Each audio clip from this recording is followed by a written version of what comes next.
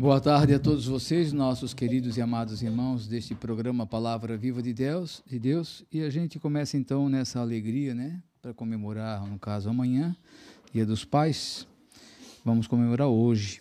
Então, vocês estão acompanhando já desde o início ali fotos, né, da, dos pais, os filhos com os pais. Se vocês também quiserem as fotos de vocês ser apresentadas no programa, mande aqui para a gente e a gente bota no, em cada intervalo de música, tá bom?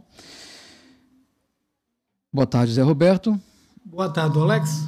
Boa tarde, João Batista. Boa tarde, Silvana. Boa tarde, Ana Maria. Boa tarde os músicos, os câmeras. Hoje, dia 10 de julho, 10 de agosto, o programa Palavra Viva de Deus mais uma vez está no ar. E como sempre, começa com a leitura do Santo Evangelho. Senhor esteja convosco. Ele está no meio de nós. Proclamação do Evangelho de Jesus Cristo segundo João. Naquele tempo, os judeus começaram a murmurar a respeito de Jesus, porque havia dito: Eu sou o pão que desceu do céu. Eles comentavam: Não é este Jesus, o filho de José? Não conhecemos sua não conhecemos seu pai e sua mãe? Como então pode dizer que desceu do céu? Jesus respondeu: Não murmureis entre vós. Ninguém pode vir a mim se o Pai que me enviou não o atrai. E eu o ressuscitarei no último dia. Está escrito nos profetas: Todos serão discípulos de Deus. Ora, todo aquele que escutou o Pai e por ele foi instruído, vem a mim. Não que alguém já tenha visto o Pai só aquele que vem de junto de Deus viu o Pai. Em verdade, em verdade vos digo: quem crê possui a vida eterna. Eu sou o pão da vida. Os vossos pais comeram o maná no deserto e, no entanto, morreram. Eis aqui o pão que desce do céu. Quem dele comer nunca morrerá. Eu sou o pão vivo descido do céu. Quem comer deste pão viverá eternamente. E o pão que eu darei é a minha carne dada para a vida do mundo. Palavra da salvação. Glória a vós, Senhor. Ana. Aniversários da semana, hoje. A primeira mensagem do programa é mensagem ou o clipe? É, é mensagem, né? Primeira mensagem do programa, o nosso amado profeta vai fazer a leitura e o comentário. Uma mensagem que. Uma palavra aqui que diz, e nas outras não falou. Estenda o teu braço por onde andares aliás, por onde fores, hoje dia 10 de agosto de 2015. Em tuas mãos, irmão Pedro II, a maior prova de todos os tempos, tens contigo. Pode-se considerar que um milagre desta natureza não teve outro. Quando o justiceiro achou que já tinha dominado todos a crer em suas trapaças. Deus, nosso Pai, passou então a usar tuas mãos, irmão, para escrever um livro tão lindo. Toda a natureza, ela conhece o que és diante do seu filho Jesus. Assim como eu fui, desde o momento em que me casei com Maria, esposa, mãe e irmã. Ela, por ser nossa mãe, não deixa de ser nossa irmã. Como Cristo é nosso Salvador e irmão. Abraçar uma carreira como vens fazendo, tu e tua família, é de dar inveja aos que se dizem servidores de Jesus sacramentado. Irmão, o talento que Deus te deu jamais outro teve. Tu serves a um rei que ele mesmo te admira, porque o que tu tens reparte com todos. Não esconde nada.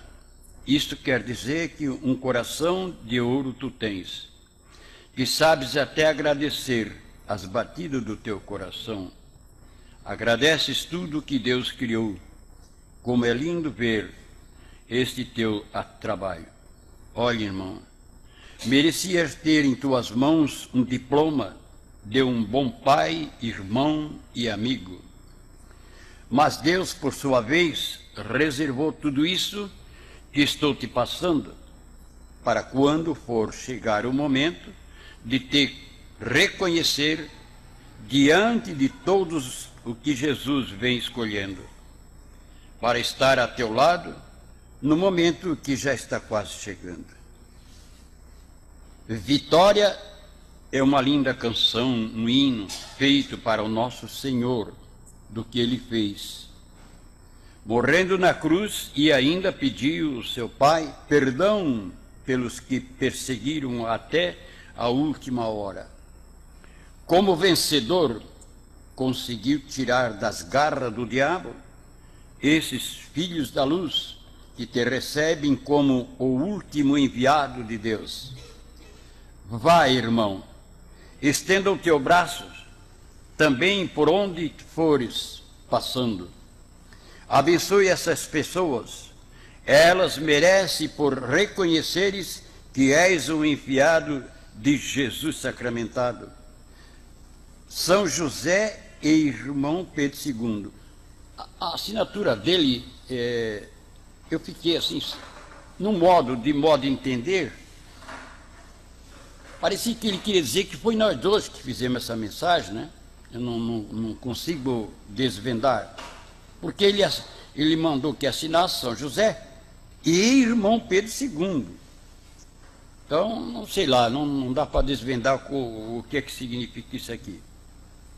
Uh, eu botei vários nomes, São José, carpinteiro, isso, outro, mas não tinha que ser São José e irmão Pedro II. Meu modo de entender, certo, eles diz que essa mensagem foi nós dois, para mostrar a humanidade que até dizer ali é uma coisa que nunca foi dito. A, a Virgem Maria é minha esposa, minha mãe e minha irmã. Ela, por ser nossa mãe, não deixa de ser nossa irmã. Como Cristo é o nosso Salvador e irmão. Aí você vê, que coisa linda, né? É, o livro, diz ele, é inédito. O livro, a palavra viva de Deus. Outro mistério maior do que esse não tem. Então você vê a grandeza que é esse livrão aí. A palavra viva de Deus, quem tem em sua casa, quem conserva, quem lê e quem guarda com amor, carinho. É um, um presente de Deus. Por isso eu disse ontem na missa. Eu acho que maior, maior milagre do que isso aí, eu, eu, eles que dizem, não sou eu. Maior milagre do que isso não tem. A Bíblia é o livro principal, a Bíblia não deixa de ser o principal em tudo. Mas no últimos tempos que nós estamos vivendo, o livro A Palavra Viva de Deus, o milagre não teve. Porque a, o milagre de Fátima foi lindo e continua até hoje, o povo sabendo que existiu. Também aqui, em Curitiba, no Parque João Paulo II, para nós aconteceu a mesma coisa, o sol dançou, o sol piscou para nós, está gravado. Ali tem prova, como o sol fez isso para nós. Tem lá o milagre que ele falou de São Lourenço. É? Uma pessoa que está sendo assado vai ainda brincar. É um milagre. Tantos milagres que está acontecendo. Mas, quatro mil e poucas mensagens é um milagre, né, gente?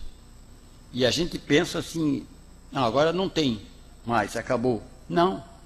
É um Deus tão misericordioso, tão maravilhoso, que ele não deixa de se comunicar com os filhos, né? Os filhos da luz natural, que somos nós.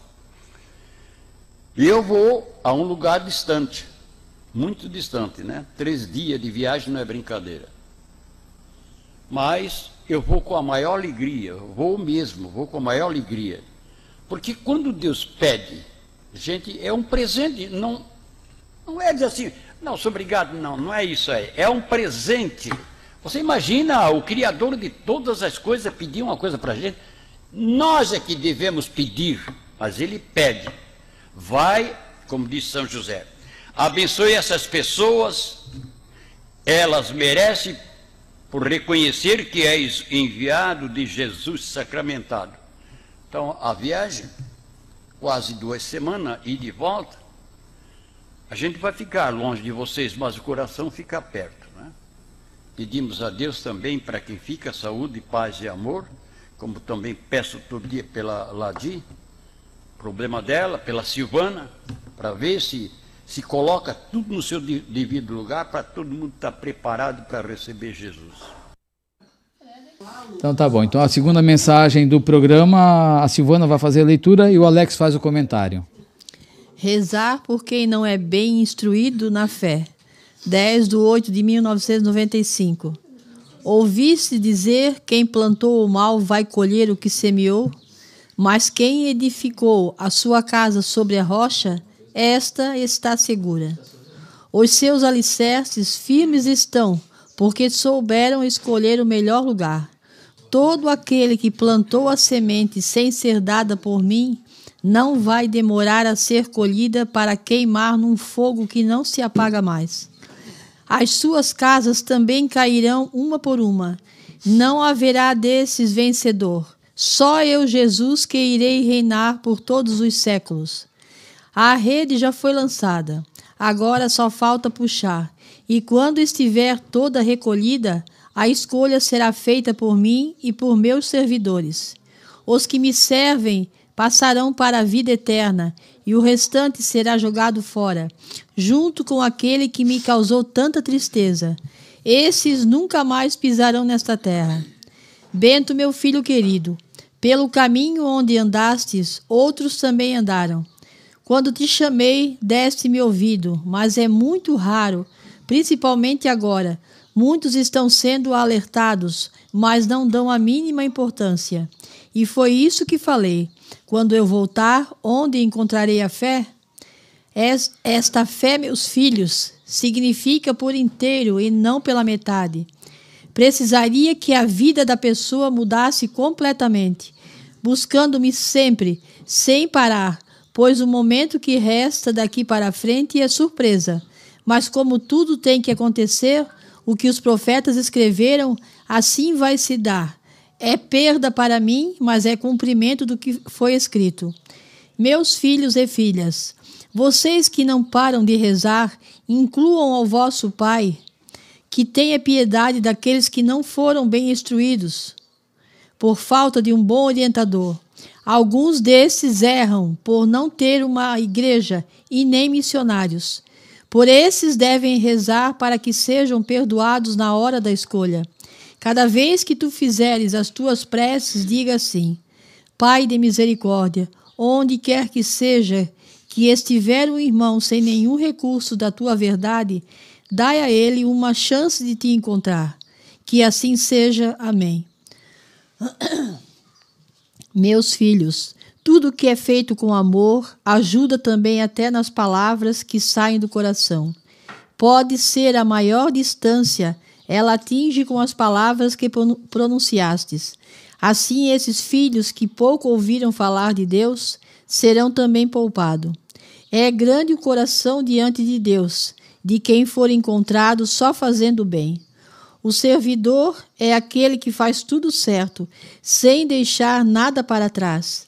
Esta é a hora de juntar os que estão espalhados, fazendo que todas as ovelhas estejam reunidas, porque o seu pastor não tarda a voltar. E quando voltar, será para sempre que ele vai ficar junto, para toda a eternidade. Assim se completa tudo o que foi escrito os últimos serão os primeiros. Em teu coração, meu filho, não deixe mais nada entrar do que for de ruim, ou cobiça por coisas que roubam o teu tempo. Faça ao contrário, diga: basta o que já tenho, agora vou me preparar, pois o meu Senhor já está vindo. Obrigado a vocês, filhos de fé. É assim que eu mais quero, é encontrar todos me adorando Fique com a minha paz, Jesus.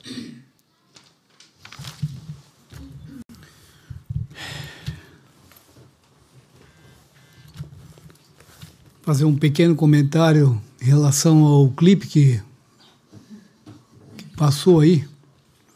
As pessoas que às vezes olham a família Conceição de uma maneira digamos mais séria, mas é isso mesmo. A gente lê, a gente resgata na memória Como a família do pai era engraçado às vezes. O pai queria fazer as coisas certinho, bonitinho. É, faz...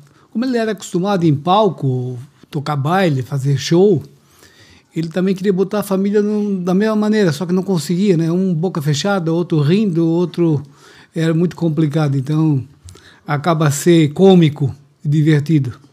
Mas assim mesmo, é bem assim que era a família Conceição e Bento Conceição. Vindo aqui para a mensagem, essa, essa noite passada, eu vi um vídeo é, que me chamou muita atenção. É sobre um rapaz, ele estava dando uma entrevista, para quem conhece, o entrevistador é Paulo Matias, ele era da Jovem Pan, hoje está no SBT. E me chamou a atenção, fiquei curioso na reportagem que ele fez.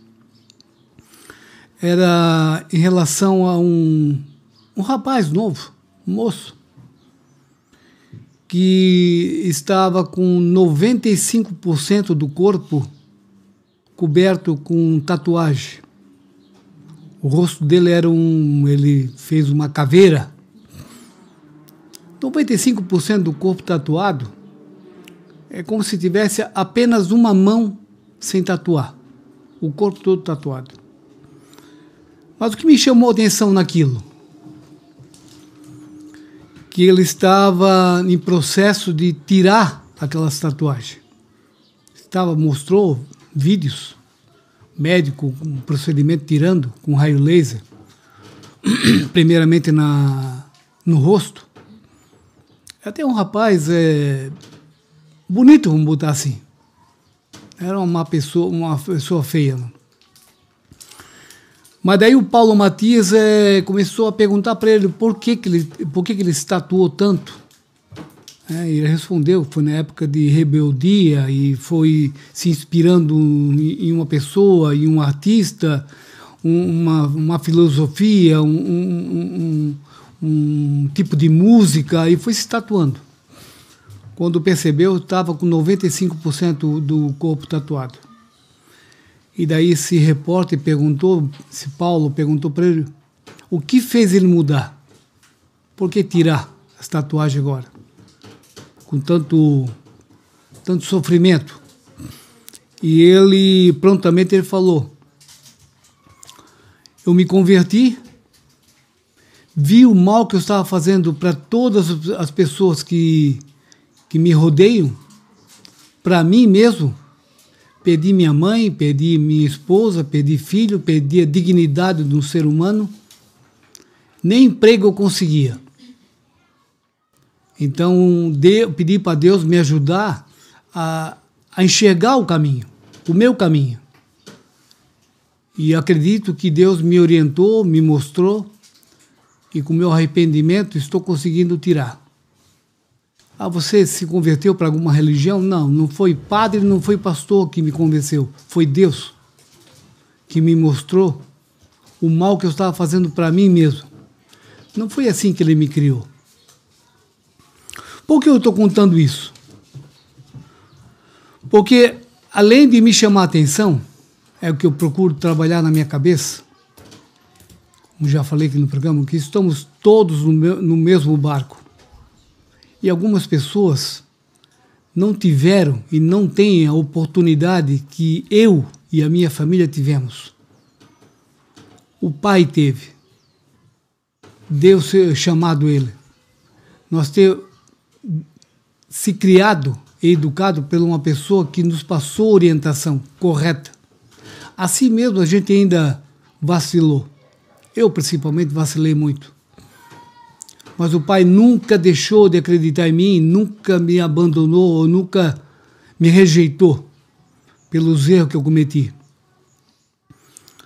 Então eu, analisando aquela reportagem, eu fico imaginando quantas pessoas estão passando por isso hoje, por falta de orientação, por estar perdido nesse mundo, esse mundo pecaminoso, esse mundo cheio de ilusão.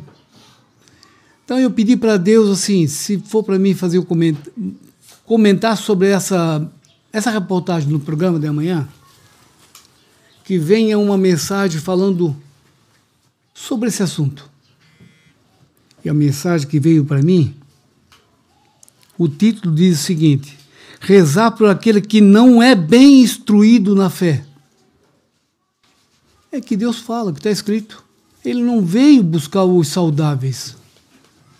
Ele não vem, ele não vem buscar os que estão já convertidos. Ele vem buscar os doentes. Se Deus fala isso, quem somos nós para rejeitar essas pessoas? Nós temos que ter misericórdia dessas pessoas, acreditar sempre no ser humano. Mesmo que seja uma pessoa com 95% do corpo tatuado. Ali, por detrás daquela tatuagem, existe um ser humano, existe um filho de Deus. E devemos sempre manter a nossa esperança nessas pessoas. Foi assim que Deus, Jesus mostrou, referente a Madalena, que eu não sei quanto que ela pecou, mas era uma pecadora. Confessa. Foi assim que Deus agiu com Paulo, que perseguia cristão. E Deus fez aquele perseguidor de cristão, fez um apóstolo, um dos maiores hoje reconhecido. Então é isso que me chamou a atenção, inclusive me fez, fez fazer o comentário aqui no programa, porque o título já fala sobre isso. E aqui fala a mensagem. Bento, meu filho querido, pelo caminho onde andastes, outros também andarão. Eu andei. Pelo caminho o pai andou. Quando o pai não tinha a orientação correta. Meu filho está andando. Outros irão andar. O que o pai fez em relação a mim, a orientação que ele me deu, foi mostrar as falhas desse caminho, os buracos desse caminho, os tropeços desse caminho mas nunca me proibiu de andar. Me orientou sabiamente, sem me deixar revoltado e sem me furtar de nada. Deixou viver. É isso que eu falo, faço, tento fazer com os meus filhos. Mostro que esse caminho existe buracos, existe tropeços e nem sempre a gente consegue se levantar. É o que nos cabe fazer. Mas nunca perdendo a esperança e a fé do que aquele ser humano um dia poderá se arrepender, se encontrar com Deus. Independente se foi um padre, se foi um pastor, é entre ele e Deus. É assim que eu vejo. Deus, Jesus continua aqui nessa mensagem. Meus filhos e filhas, vocês que não param de rezar, incluam ao vosso Pai, que tenho piedade daqueles que não foram bem instruídos, por falta de um bom orientador. Alguns desses erram por não ter uma igreja e nem missionários. Por esses deve rezar, para que sejam perdoados na hora da escolha. É isso que eu penso. É isso que nós devemos enxergar. Rezar por esses. E não discriminar. E não ter preconceito com certas pessoas. Volto a repetir: estamos todos no mesmo, mesmo barco. A questão de você entender o próximo, ver naquele, naquele, naquele próximo a possibilidade da conversão dele, não quer dizer andar junto com ele, concordar com ele. Como eu já falei, não concordo com muita coisa nesse mundo, mas sou obrigado a aceitar que estou nele, faço parte dele. Isso me conforta, isso me deixa um pouco mais humilde, não achando que eu sou melhor do que ninguém. Estou no mesmo patamar de todo mundo, apenas com um pouco mais de orientação nesse sentido. Mas não posso me prevalecer e me achar que sou melhor que o outro. E aqui Deus, Jesus explica uma, passa uma uma oração para que a gente possa fazer em relação às pessoas. Diz assim: a oração diz assim: Pai de misericórdia, onde quer que seja que estiver, um irmão sem nenhum recurso da tua verdade, dai a ele uma chance de te, de te encontrar. Que assim seja. Amém. É isso. Em vez de a gente criticar, gente, eu quero que entenda, às vezes meus, meus comentários, as pessoas dizem, Alex, tu pega muito leve em certas coisas. Eu não estou falando que está todo mundo salvo. Não estou falando que devemos andar junto com essas pessoas. Eu estou falando para que a gente tenha um pouquinho só de misericórdia. Se Deus, que é sobre maior sobre tudo, tem, quem sou eu para criticar ou falar mal de um, um semelhante meu? Falar, orientar, sim. Criticar e evitar essas pessoas, não. Pelo menos na minha concepção, não me entra na cabeça. Continuando. Assim, esses filhos que pouco ouviram falar de Deus serão também poupados. Vou repetir essa frase. Assim, esses filhos que pouco ouviram falar de Deus serão também poupados. Deu para entender? Deu, né? Depois, para o final. Basta o. Daí Deus fala aqui, no final, Jesus fala, que a gente acha que está é, sempre limpinho, está sempre. Estou rezando, estou participando, e a gente está sempre em dia com Deus. Mas a gente nunca está em dia com Deus. Vivendo aqui, não, não vejo isso. A gente pode procurar estar andando com Deus, pensando em Deus, mas limpinho com Deus, Nenhum de nós. Nem o santo andava limpinho com Deus. Que a gente vive nesse mundo poluído, esse mundo pecaminoso, e a gente tem ainda as ambições de um passeio, adquirir alguma coisa. Qualquer coisa, a gente tem essa, essa ambição. Todo mundo tem. E Deus fala aqui, para encerrar a mensagem.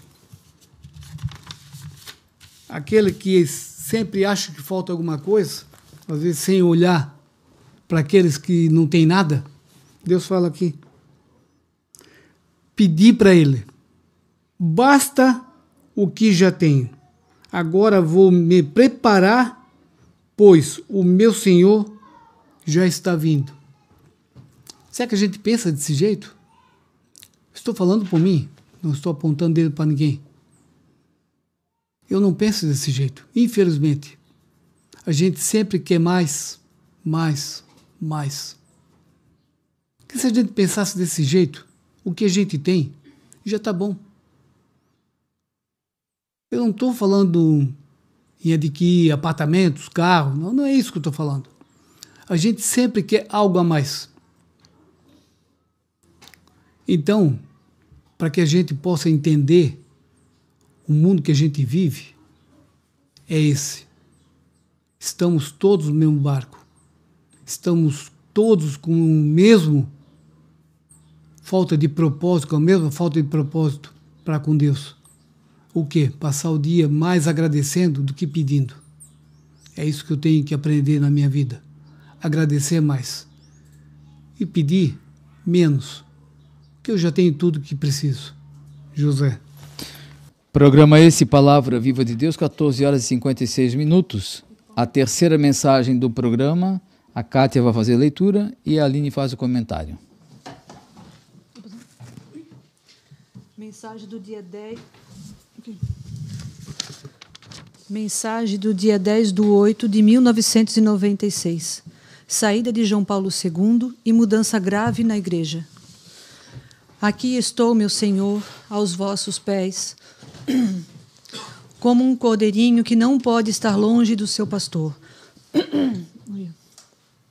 Para eu ser feliz e ter com o que me alimentar, preciso de sua ajuda, porque são poucos que acreditam no meu trabalho. Amém. Torna-se cada vez mais difícil para muitos que se dizem meus seguidores. É preciso com urgência que cada um esteja de malas prontas, que quer dizer alma pura, convertendo-se num verdadeiro cristão. Não vá mais a lugares que provocam a minha espiritualidade. Quem não me obedece será pego de surpresa. Nessa hora, não haverá mais perdão. Meu caminho continua o mesmo. Nada mudou. Mas o do meu inimigo muda a toda hora. Isto é como uma isca que se põe no anzol ou em outras armadilhas. Depois que o peixe cai, ou o bicho, ou a ave, não é mais solto. O mesmo está fazendo o diabo. Os homens pescam e caçam para comer e ele é para levar para o inferno. Bento, meu querido, a ferida, para ser curada, tem que se ter o maior cuidado para não machucar onde ela está, porque senão vai se alastrando cada vez mais o seu tamanho. Assim é o pecado. Se a pessoa não procurar diminuir, pedindo perdão a mim a todo momento, pode não alcançar mais a minha misericórdia porque o tempo que me foi dado pelo meu Pai já está se esgotando. Meus filhos, o que mais gostariam de ganhar? Um milhão de reais na sorte ou uma vida eterna, onde a alma e o corpo viverão eternamente? Se alguém vier te dizer, também não é assim, Jesus me perdoa na última hora. Se acreditares que será assim, então não leste ainda quando eu disse: Maldito o homem que acredita no outro. Não sou eu que estou fazendo isto, quer dizer, pelo dinheiro. O homem, se for possível, é capaz de vender até a sua alma. Também não está escrito da moeda que me trouxeram para ver a minha reação? O que foi que eu disse? Dai a César o que é de César e a Deus o que é de Deus. Agora está chegando o momento em que vou te perguntar: o que irás fazer com tanta fortuna, se ela foi ganha com o suor dos pobres? O tesouro que amontoaste de nada mais servirá, e tampouco a tua alma e as dos, e as dos teus antecedentes, porque vieram das mesmas raízes. Meus filhinhos, eu, vossa mãe, posso afirmar: o meu santo filho usou de uma paciência que nenhum ser poderia ter. Mas de agora em diante, tudo poderá acontecer. A pessoa de João Paulo II está prestes a deixar o seu mandato. Tão logo que tudo aconteça, os figurantes vão querer mudar toda a rotina da Igreja Católica. Daí por diante, o mundo terá a surpresa que muitos estão esperando. Busquem, meus filhinhos, o amor dele para dentro dos seus corações. Convertam-se o mais rápido possível. Não liguem se suas casas precisam de uma reforma. Façam vigília. Conversem um com o outro só em coisas boas. Cantem hinos, sem fazer muito barulho. Não bebo nenhum tipo de bebida de álcool para que possam estar lúcidos.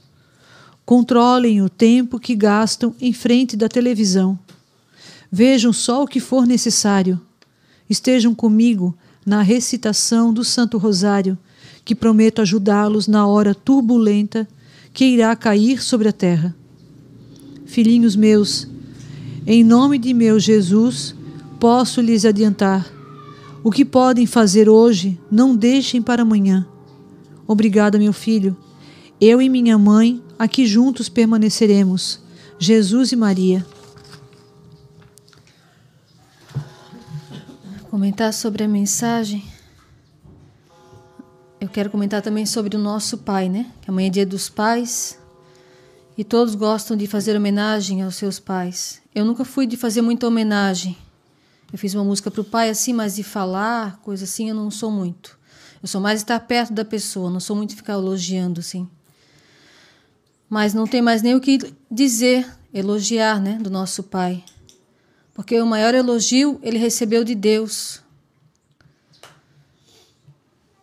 Tá tudo na ladainha, né, que a gente fez para ele. Tirou tudo da mensagem.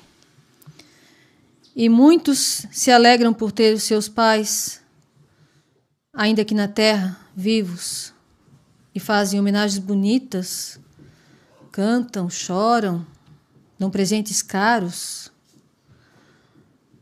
Eu não sou pai, mas eu imagino que a maior alegria que a gente pode dar para um pai é fazer o que ele pede. É estar perto dele quando ele precisa não só nas horas de alegria, na hora da saúde.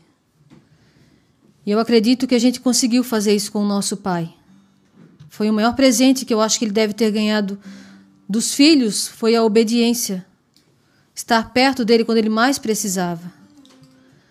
Quando os parentes o abandonavam, falavam mal dele, os filhos se ofendiam por isso, ficavam do lado dele, ficavam perto dele, defendiam ele. Isso é o maior presente que um pai pode receber.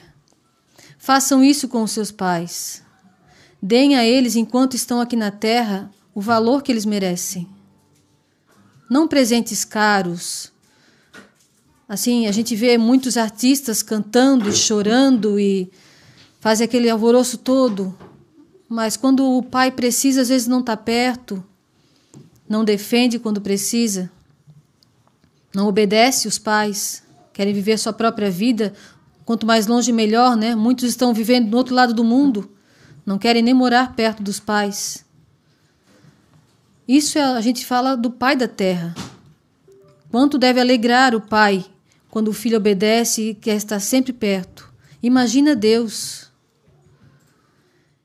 O nosso pai é Assim vocês podem ter felizes por ter o pai de vocês, todo mundo, todo mundo ama o seu pai, o pai é ótimo, mas o nosso pai era diferente. A gente não é melhor do que ninguém, mas o nosso pai era diferente. Além de ser nosso pai, ele era pai de vocês também, se sentia pai de vocês, porque Deus pediu para ele: cuida do meu pequeno rebanho, mostre a eles o caminho, fale a verdade, Então, nosso pai era pai de muita gente. Quando Jesus falou que ele seria o Papa, eu já entendi. Ele não iria ser mais só o meu pai, ele iria ser o pai de muita gente. E quando Deus o levou, eu entendi. Ele não era mais nosso, ele era de Deus. Por isso foi mais fácil aceitar que Deus levou ele, porque ele já não era mais só nosso.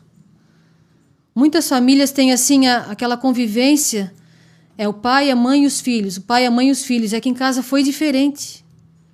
Era o pai, a mãe e os filhos, como vocês viram naquele vídeo ali, o pai queria sempre os filhos pertinho, mas depois Deus mudou tudo.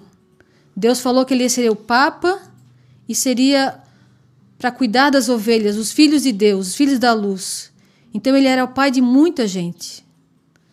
Agradeço a Deus por isso, por entender isso e por ter vivido do lado dele. E que a gente faça o que ele pedia até a morte, até a nossa morte também. Obedecendo o quê? As leis de Deus. Acreditando nessas mensagens. Nas mensagens. Muitas pessoas desanimam, deixam de acreditar, muitos sacerdotes não querem aceitar essa obra porque não tem sacerdotes aqui agora. Acreditem nas mensagens. A Nossa Senhora fala aqui: estejam comigo na recitação do Santo Rosário. Estamos há dois ou três anos, não sei mais agora quanto tempo sem sacerdote, só rezando o terço, o Santo Rosário. E quantas graças nós já alcançamos através do Santo Rosário. Conversões, muitas pessoas ainda estão se convertendo para Deus. Problemas de saúde, hoje mesmo eu visitei ali o Paulo, o esposo da Mara Os médicos mesmo falaram: o senhor é um milagre. O senhor é um milagre. Ele foi todo cortado, fez não sei quanta cirurgia, pegou infecção hospitalar. Está vivo só com o Santo Rosário, água benta. Aquele rapaz do Paraná que caiu um galho, cortou ele pelo meio quase. Também outro milagre. Aqui na igreja, quantos milagres acontecem nesse meio tempo? A nossa fé, que só tem a aumentar. Essas desgraças que estão acontecendo no mundo, mesmo na época da pandemia, as pessoas desesperadas e nós aqui firmes. Ninguém morreu, graças a Deus. Todo mundo aqui na, na Santa Missa na época. E Deus nos protegendo. Hoje de manhã eu falando com a Mara lá com o Paulo, na época aqui que a gente veio morar em Taquaras, não tinha missa todo dia também, era uma vez por mês ali lá, era só o terço todo dia. João Batista deu testemunho, ele, ele indo para o terço, ele pensou: meu Deus, o que, que adianta todo dia a vida não muda? Só o texto, só o terço. E quando ele foi é, ameaçado de morte, quando o rapaz colocou a arma na cabeça dele e não conseguia atirar, ele viu o valor do terço. Essa semana fez aniversário da bomba de Hiroshima, não sei se foi 25 anos, 26 anos, não sei, está na internet. E quatro sacerdotes sobreviveram, não tiveram nenhuma doença grave. Os cientistas ficaram dizendo: vocês vão morrer, vão ter doença grave. Nada, nada aconteceu com eles. Foram descobrir por quê. Não estavam rezando missa, não estavam nem rezando o texto na hora. Mas eles deram testemunho. Nós rezamos o rosário todo dia. E a bomba de Hiroshima não conseguiu matá-los. Olha a fé que nós temos que ter. Olha essa mensagem aqui de 96, saída de João Paulo II e mudança grave na igreja. Grave. É grave o momento que estamos passando. A gente fica pensando, meu Deus, como é que pode? Não vem um padre para cá? E ao mesmo tempo vem a resposta. Vocês viram o folheto da, da missa lá em São Paulo, que saiu essa semana passada, de 24, mês passado? Acusando as pessoas de direita que lutam pelas leis de Deus, pelas leis certas, sendo chamadas de fascistas. Num folheto de missa, deram até nome das pessoas: Bolsonaro, Milley. Nós temos que acabar com eles. O que é isso? Demos graças a Deus que não temos sacerdotes aqui desse jeito. Mil vezes rezar o terço.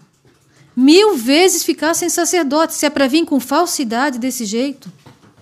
E graças a Deus, nós tivemos esse santo pai, que era um profeta.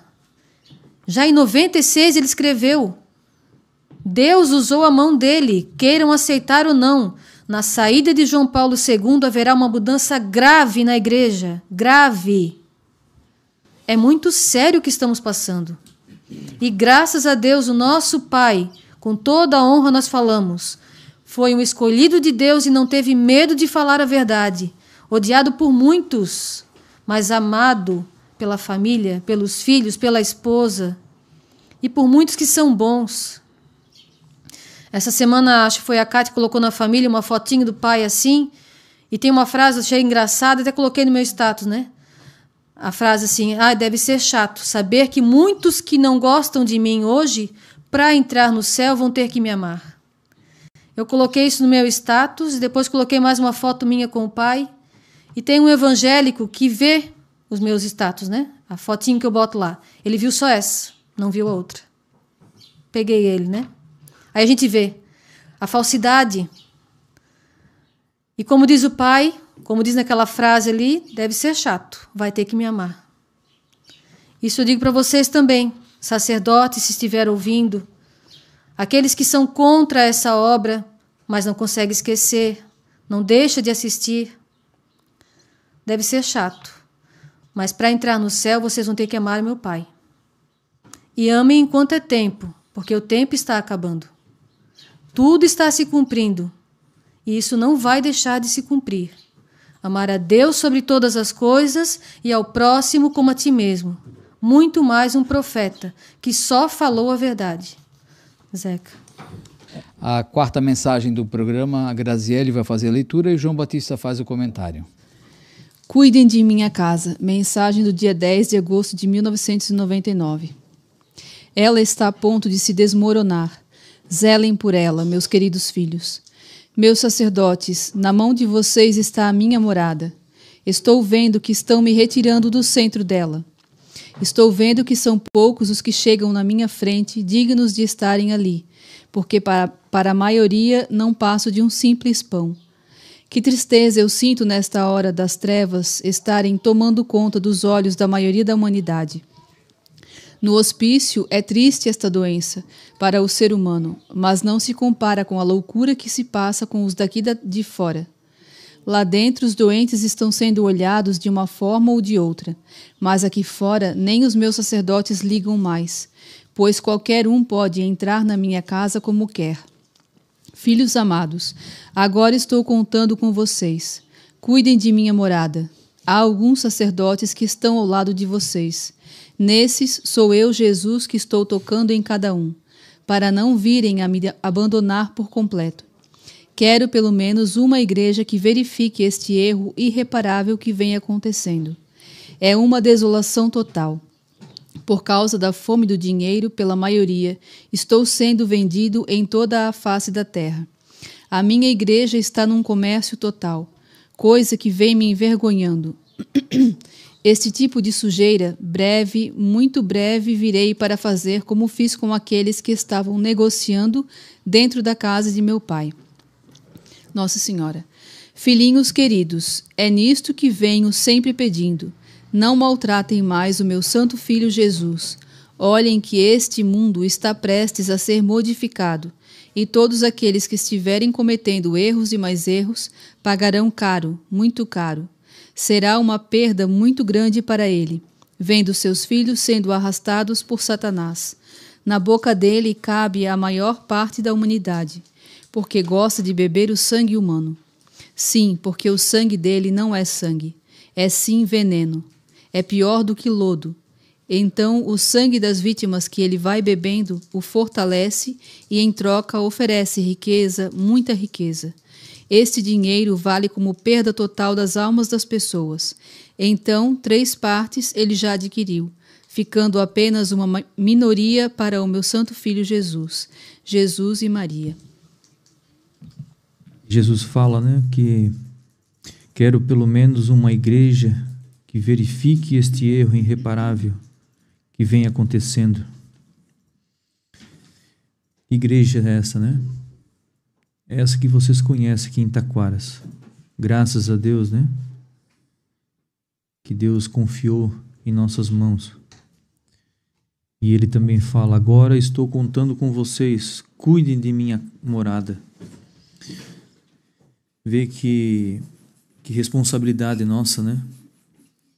É que Jesus também diz que na época aqui quando tinha os sacerdotes tocado por Deus, eu me lembro muito quando toda vez que eu estava dentro da igreja, ali aqui na, na, na casa de Deus Pai aqui, quando o padre Romulo estava, ele a todo momento que ele podia, ele saía de lá de trás e vinha e rodeava ali o altar, ver se tava, se não tinha ninguém mexendo, se não tinha nada fora do lugar. Aquilo ali era a responsabilidade dele. Ele veio para cá, para Taquaras, para isso, para cuidar da morada de Deus. Isso aconteceu com o nosso pai, né, que foi o profeta. Ele também zelou muito pela casa de Deus e hoje Deus confia em nós, né? Por isso que a gente é muitas das vezes discriminado, né, pelos próprios padres que acham que tem que mudar aqui ou ali, mas não é pela vontade de, nossa, né? Muitas vezes já falei para várias pessoas, se fosse por ganância ou pela cabeça da gente, aqui já teria vários sacerdotes. Eu estaria aqui um em Taquaras, teria um lá na casa do Eugênio, teria mais para andar com nós para viajar por aí, visitando suas casas aí fora, né? Casa de vocês que estão assistindo. pensando no quê? Só no lucro, como a maioria das igrejas estão. Não estão pensando em agradar a Deus, estão pensando em, em lucros, em ganhar mais. Mas graças a Deus, e a gente reza, a gente pede para nós aqui da família, pelo menos nós, os filhos, fazer isso que Deus está pedindo aqui, ó. Cuide de minha morada. Quero ver pelo menos uma igreja intacta. Claro que para muitas pessoas a gente, muitos jeitos vão vão falar, não, mas só vocês são perfeitos, só vocês não têm erro. Claro que tem. Mas a gente faz o possível de fazer o que Deus está pedindo. Vocês sabem o que, que é o, o, o, a, o principal? É não deixar as pessoas entrar mal vestidas dentro dela. É na hora de, de, de chegar na frente do altar, se ajoelhar. Alguns que saíram acharam que ah, vão se ajoelhar para a água benta. Não é se ajoelhar para a água benta. É o sacrário que está ali no centro. É o corpo vivo para quem acredita. Para quem não acredita, claro que a gente está vendo hoje falo que é, celebro missa, faz tudo na frente das pessoas, mas o principal mostra que não acredito que ali está o corpo presente, presente de Deus. Porque proíbe de dobrar o joelho, ou não dão bola, pega e entra na igreja do jeito que quiser, não dobra mais o joelho. Então, então não acredito. Então por isso que Deus né? Porque ah, por que só a família Conceição? Não foi não foi nós que escolhemos.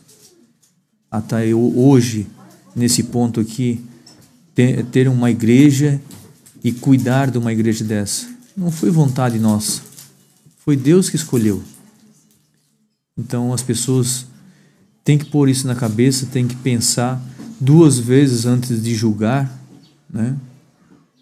Ah, eles querem ser importante, eles querem fazer diferente, como um bispo falou para mim lá em Itajaí. Por que, que vocês querem ser diferente dos outros? Não. Nós queremos fazer a vontade de Deus, obedecer a Deus. Vocês que estão sendo diferentes. Vocês que estão mudando hoje. Então a gente pede que vocês que estão acompanhando essa obra nos ajude a também a manter essa, essa casa de Deus como Deus está pedindo aqui, como Jesus e Maria está pedindo. Cuide de minha casa. Não tente fazer algo diferente. Vim para cá, ah, mas é só é só isso, é só aquilo. Não, mas se a gente abrir a mão para um, abrir a porta para um, vai ter que abrir para todos.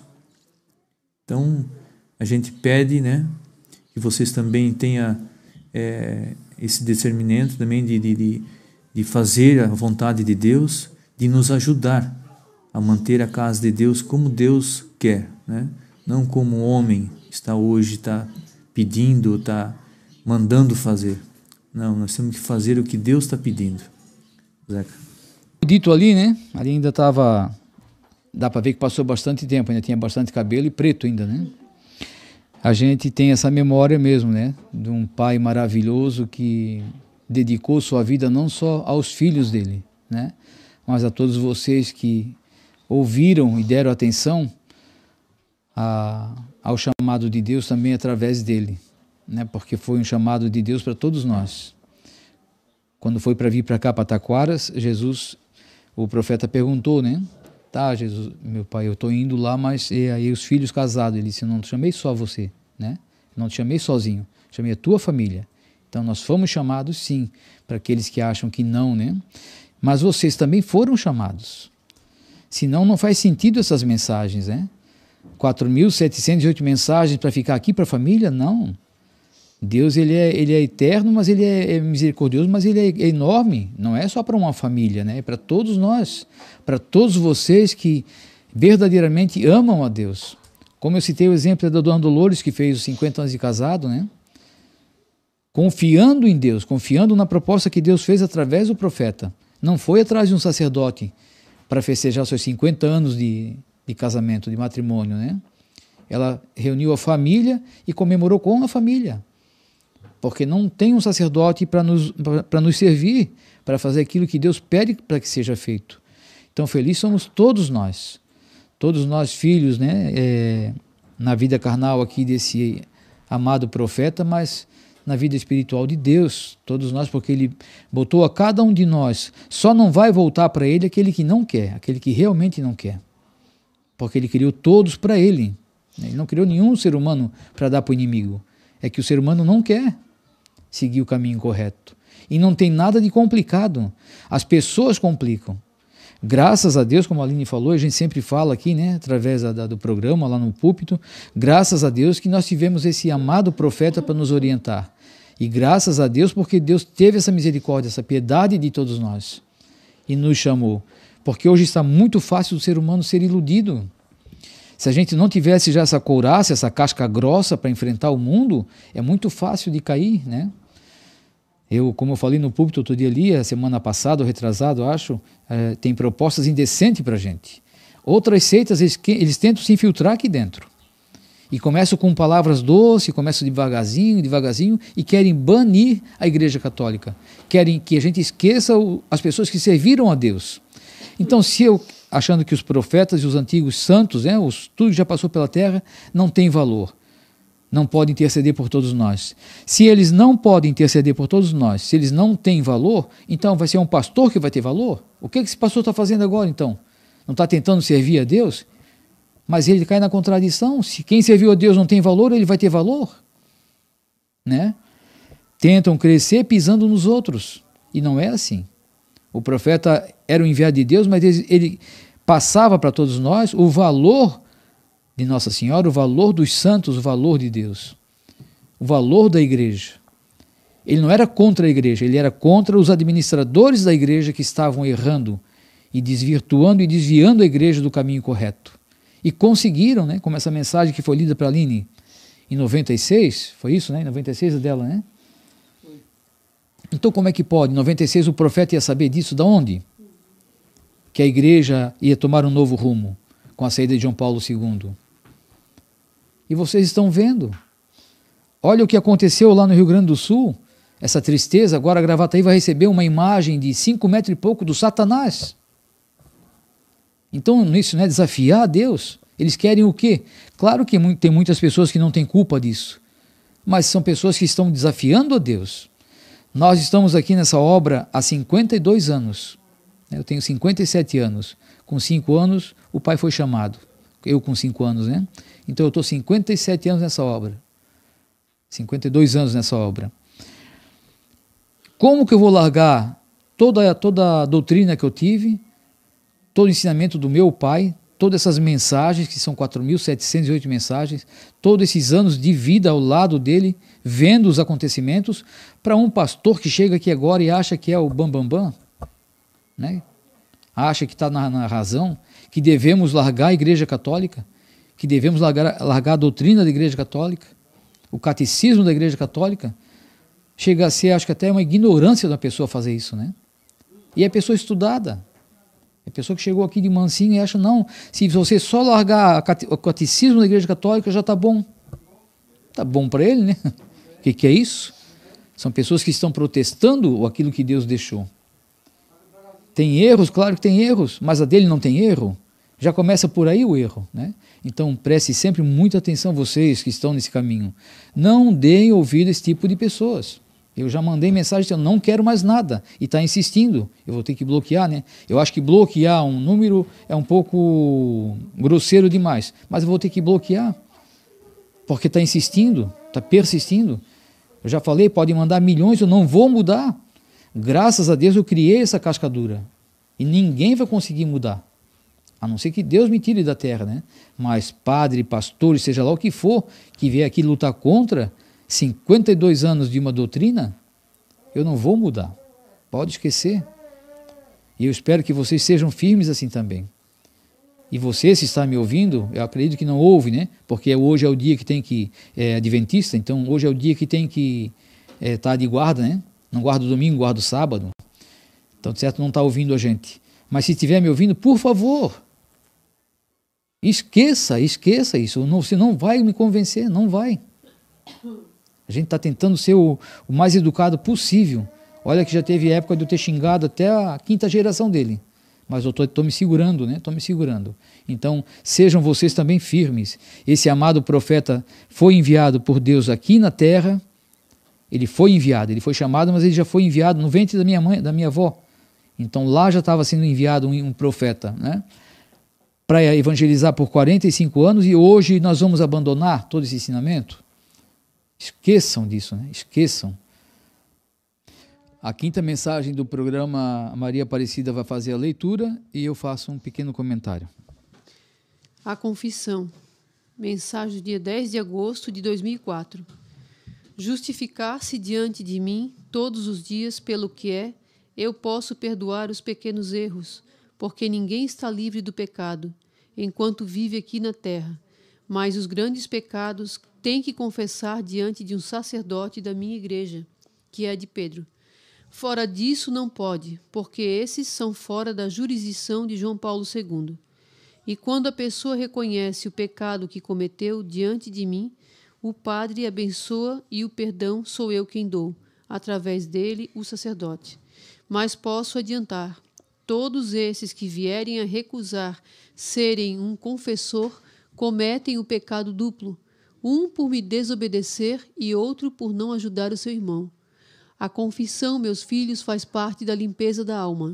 Se não se confessar, pelo ato que cometeu, é como uma pessoa que não se lava, dorme e se acorda com mau cheiro.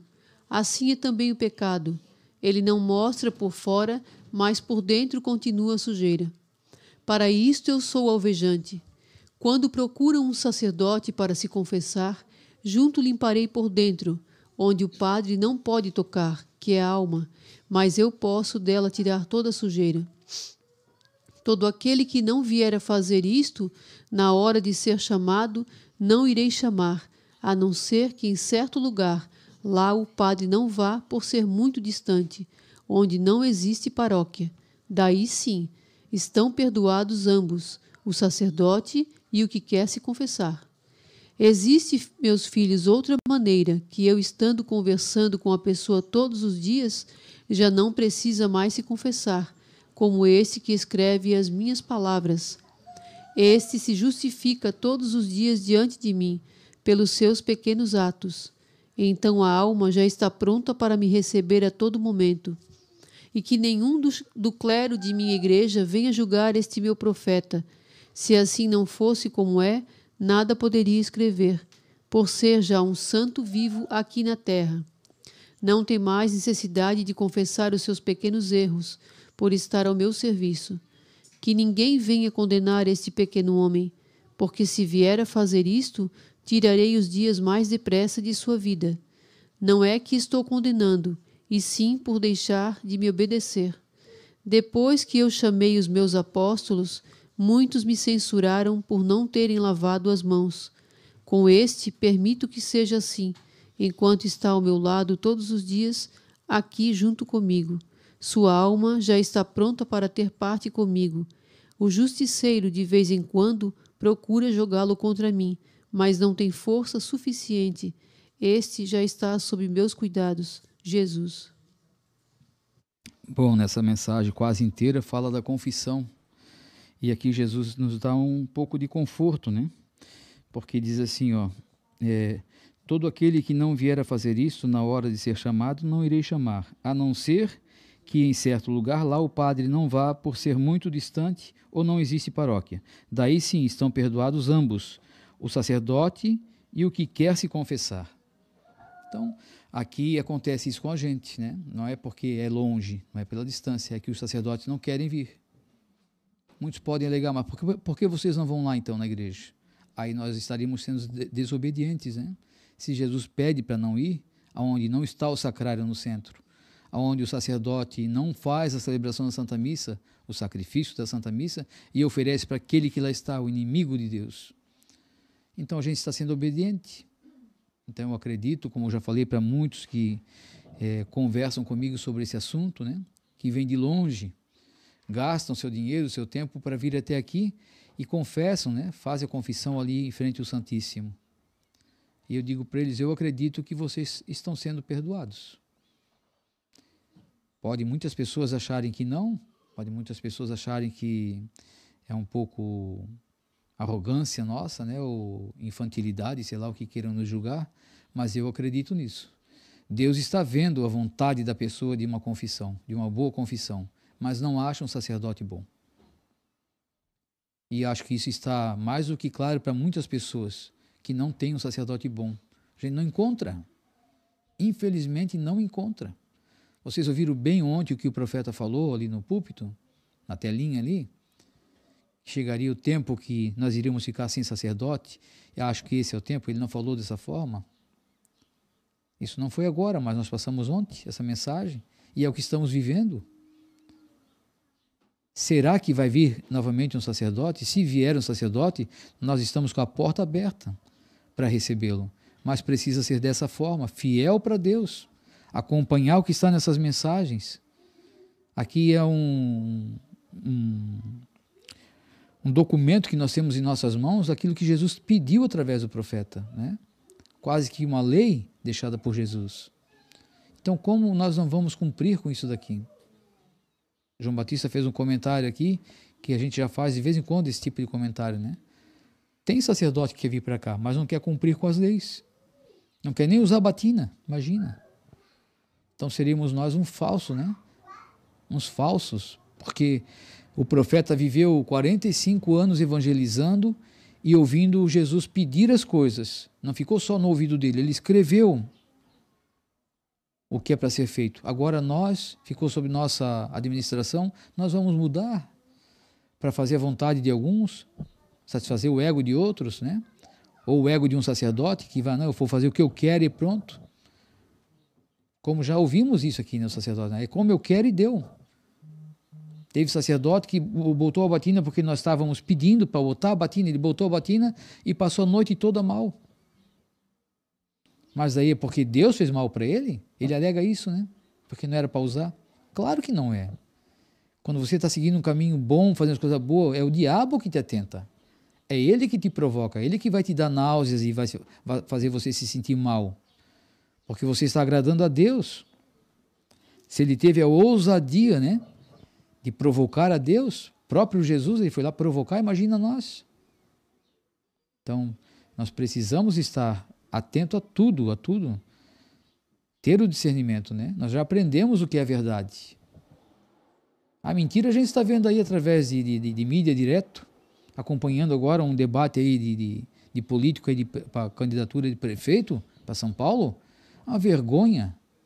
Uma vergonha, só ataque, ataque em cima de ataque, nenhuma proposta, só atacando o outro, mostrando a verdade, né? São aquilo que eles estão falando mesmo, todos eles estão sem vergonha.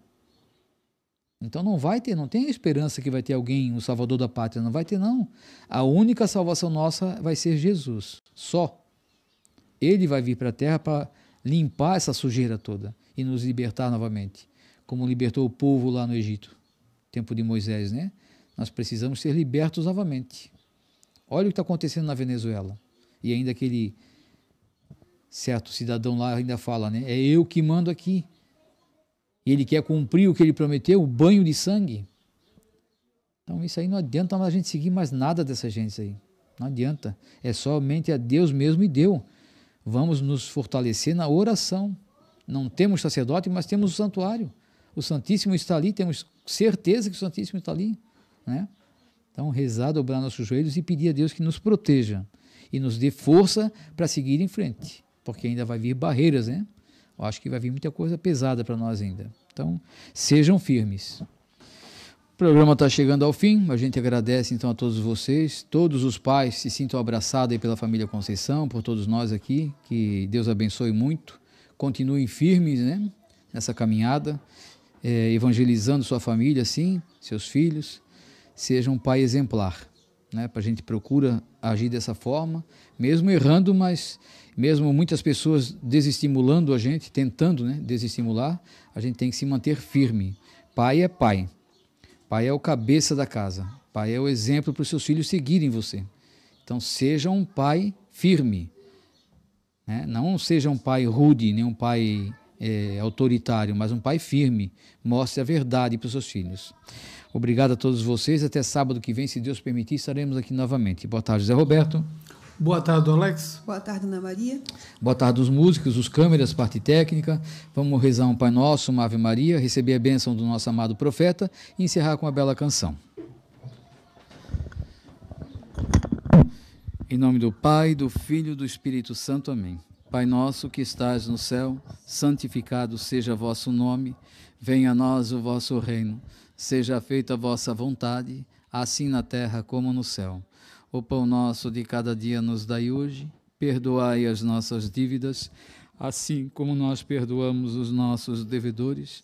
E não nos deixeis cair em tentação, mas livrai-nos do mal. Amém. Ave Maria, cheia de graça, o Senhor é convosco. Bendita sois vós entre as mulheres e bendito é o fruto do vosso ventre, Jesus. Santa Maria, Mãe de Deus e nossa mãe, rogai por nós, pecadores, agora e na hora de nossa morte. Amém. Em nome da Santíssima Trindade, o Pai, o Filho e o Espírito Santo, pedimos a eles, a Sagrada Família também, para que essa água seja abençoada, para que possa trazer mais paz para nós, saúde, que precisamos como você em sua casa, que você deve estar também com seu copo d'água, com sua imagem, crucifixo, pedindo também pela sua família. Que Deus ouça e abençoe. Em nome do Pai, do Filho e do Espírito Santo. Amém. Vamos em paz, vamos com Jesus, Maria e José. Boa tarde.